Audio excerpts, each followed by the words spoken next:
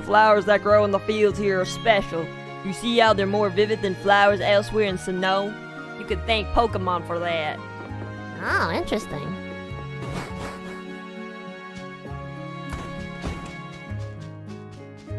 I love my Pokemon.